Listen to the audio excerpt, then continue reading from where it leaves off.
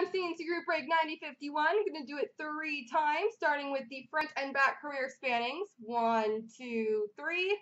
The back side of the cards will take that. Whoever is number one after three will win the Nikita Kucherov priority signings. And number two, three, and four will get black packs. Three times, everybody. One, two, three. So Stormtrooper gets Kucherov. Cards, Hextall, and M. Watson get black packs. Congrats, guys.